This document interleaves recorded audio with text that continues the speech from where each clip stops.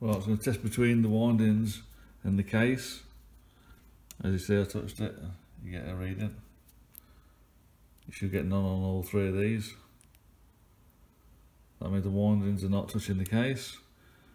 I'm going to test between each one of these now. There should be equal readings. It's going to be hard to do one-handed, but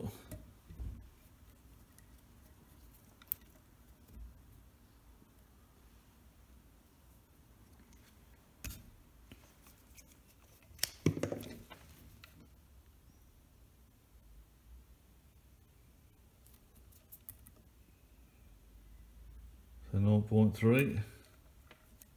They've got to be pretty much equal.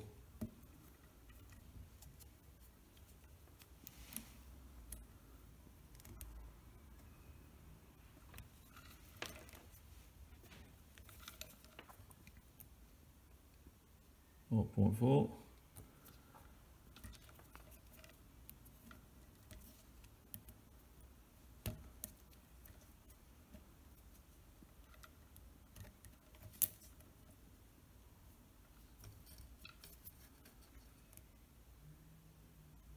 0.3, 0.4, they're all pretty much equal. I don't know how to test the Hall effect sensors. I can't make any sense out of doing it.